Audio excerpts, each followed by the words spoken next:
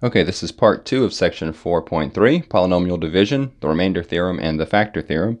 Okay, I want to go over each of those briefly, just to kind of give you a little bit of a background in what's going on there. So, first let's talk about the remainder theorem, which is really interesting.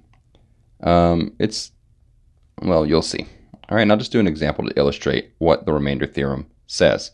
So let's say, for example, that we have a function x squared minus 3x minus 5.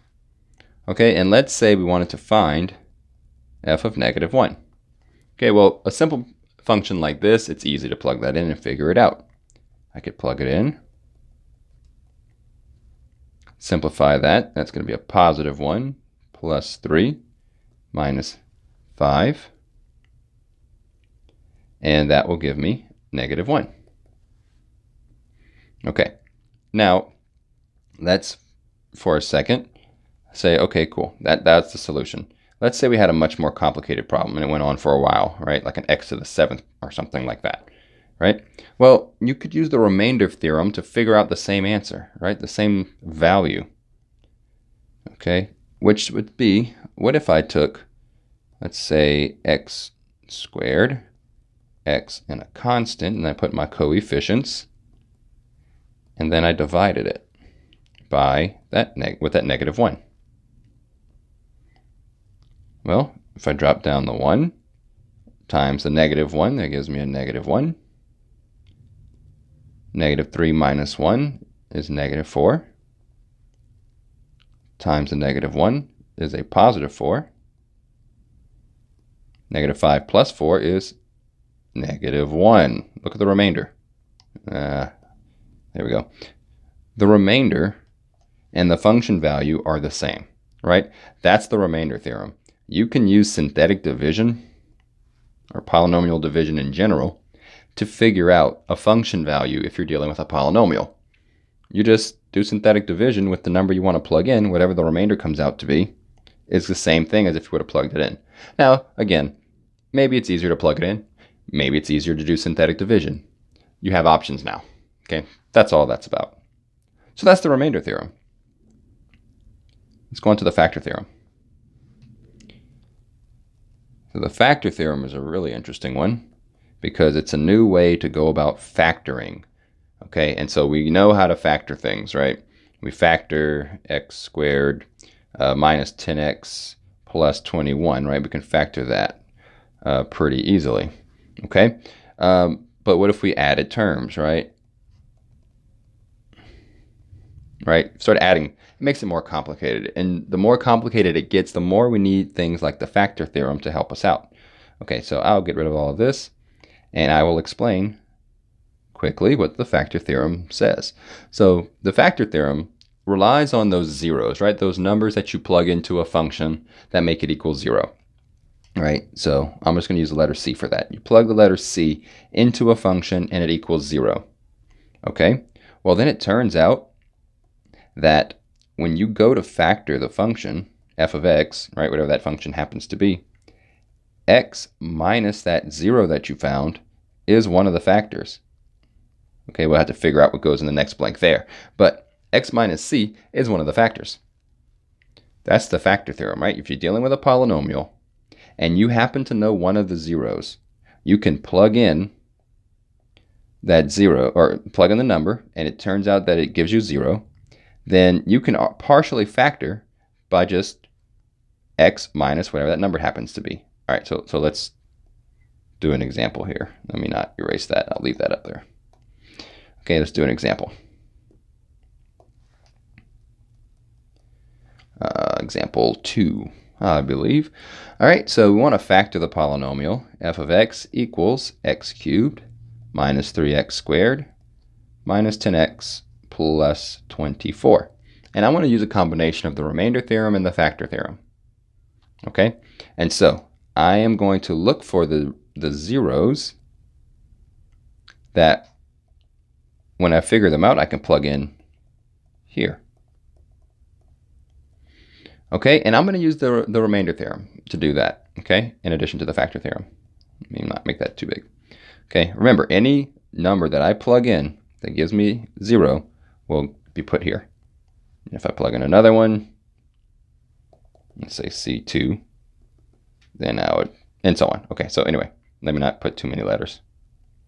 All right, so let's do synthetic division. So we have x to the third, x squared, x and a constant. Coefficients are 1, negative 3, negative 10, and 24.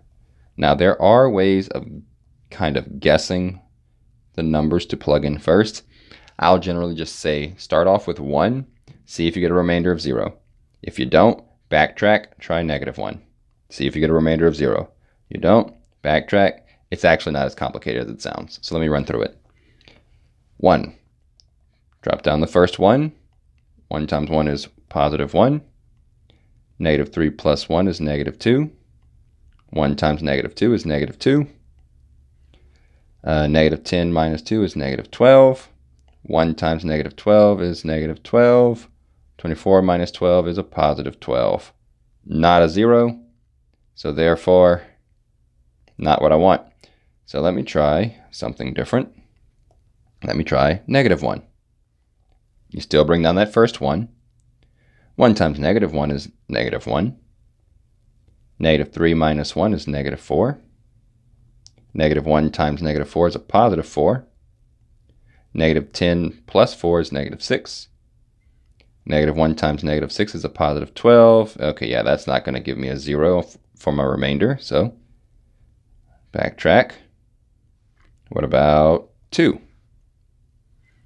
All right, well, bring down the first one. 2 times 1 is 2. Negative 3 plus 2 is negative 1. 2 times negative 1 is negative 2.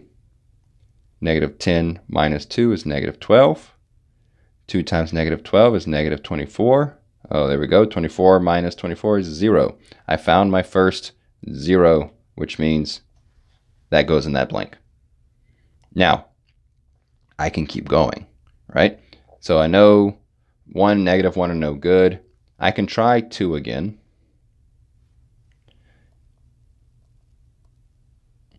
Okay, because it's possible that 2 occurs twice, right? There's no reason why you couldn't have that. So drop down the 1. 2 times 1 is 2. Negative 1 plus 2 is 1. Right? Uh, and then 2 times 1 is 2. Negative 12 plus 2 is negative 10. Okay, I'm ignoring all this because that's irrelevant now, right? Um, this is not 0. So therefore, 2 is no good. I'm going to move on to Okay, let's see. I want to keep that. There we go. Just want to get rid of the 2. Let's go on to 3. 3 times 1 is 3. Negative 1 plus 3 is 2. 3 times 2 is 6. Negative 12 plus... Okay, yeah, that's not going to work. Let's try negative 3, right? We're just going down the line. 1, negative 1, 2, negative 2, 3, negative 3. 1 times negative 3 is negative 3. Negative 1 minus 3 is negative 4. Negative 3 times negative 4 is a positive 12. Negative 12 plus 12 is 0. There we go, negative 3. So if I plug in a negative 3 right here, that really changes it to a plus 3, right? These two negatives become a positive, so we're going to write plus 3. And then the last one, you don't have to worry about too, too much, because look at this. 1 minus 4 that's actually, I divided that one out. I divided that one out. x minus 4. Minus 4 is the last one. Okay, you see it right here. 1x minus 4. That last one will always be the last parentheses. Okay, let's see. Maybe we can do one more. By the way, before I go on, if I wanted to find or solve this equation, right? I technically already did, but I could set this equal to zero and solve each of them individually. But these, this one and this one, and then, well, at least those two are the first two solutions. All right, let's do one more. And we'll be done with section 4.3. Okay, let's factor the polynomial. x to the fourth plus 11x to the third plus 41x squared plus 61x plus 30. Okay, so I'm going to set up my parentheses. I'm putting four of them because x to the fourth power, so I should have four if all ends well. All right, and x to the fourth, x cubed, x squared, x constant, coefficients of 1, 11, 41, 61, and 30. And I want, again, I want the remainder to be 0, so I need to make sure that I'm to have to introduce some negatives. Notice they're all positive numbers, right? These are all positive, so I'm not even going to bother plugging in a positive 1, positive 2, and so on. I'm to start off with a negative 1. 1. Negative 1 times 1 is negative 1. 11 minus 1 is 10. Times negative 1 is negative 10. 41 minus 10 is 31 times negative 1 is negative 31. 61 minus 31 is 30. Negative 1 times 30 is negative 30. 30 minus 30 is 0. Okay, negative 1 gets plugged in here. Of course, that just makes this a plus 1. Okay, let's go on. Let's try... We could try negative 1 again, but I'll save time. And just go to negative 2. No, negative 1 is not going to work again. I know because I made up the problem. All right, drop down the 1 times negative 2. 10 minus 2 is 8 times negative 2. 31 minus 16 is 15 times negative 2. 30 minus 30 is 0.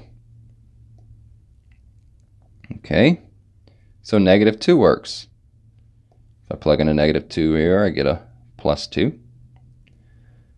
Okay, uh, negative 2 won't work again. Again, I know because I made this problem up. Try that again. Straight line. It's better. Okay, bring down the 1.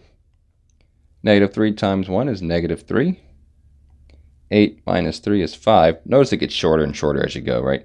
Negative 3 times 5 is negative 15. 15 minus 15 is 0. Negative 3 works. You see why I picked these numbers, right? So plug in a negative 3 right here, minus a negative 3 is really plus 3. Okay, and then the last one. Notice I have 1 and a positive 5. When I divide it by negative 1, I knock that down. Divide it by negative 2, I knock that one down. When I divide it by negative 3, I knock that one down. So what's left is x and a constant. 1x and a positive 5, x plus 5. x plus 5 is my last parentheses. So there we go, I factored it. All right, that's the factor theorem, remainder theorem in, well, polynomial division, section 4.3.